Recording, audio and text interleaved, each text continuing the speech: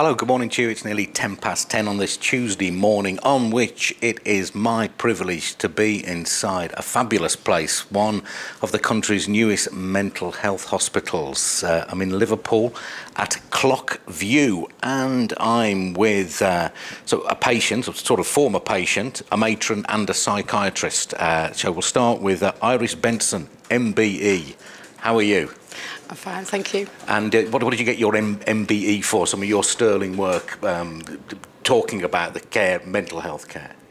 Services to mental health, but I will use my MB to share it with everyone that's helped me on my journey. Okay, so what brought you in here and into the system in the in the first place? And you've been at uh, less pleasant places than this in your time, haven't you? Certainly have. Yeah. Um, my history of abuse as a child brought me into uh, mental health services. Mm. And you just said there's, there's a lot of noise around here. You just said to me a moment ago that uh, you're used to hearing voices in your head, but there's even more at the moment with your uh, with your headphones on and people bustling in and out of the place. It certainly is, yeah.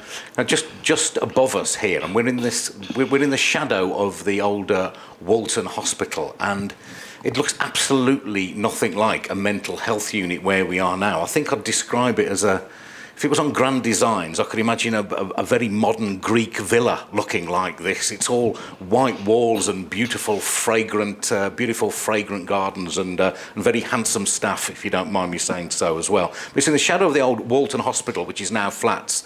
And I understand uh, Sir, Sir Paul McCartney came into the world in that very building.